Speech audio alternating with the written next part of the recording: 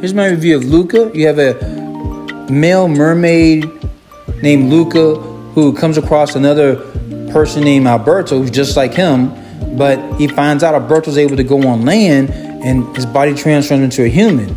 So Alberto is teaching him all the fun activities that humans do on land and to don't be afraid.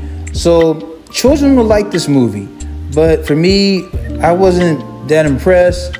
I see it's a C grade. I can't imagine if it was in the theaters, it would have made a huge profits. I couldn't see that happening.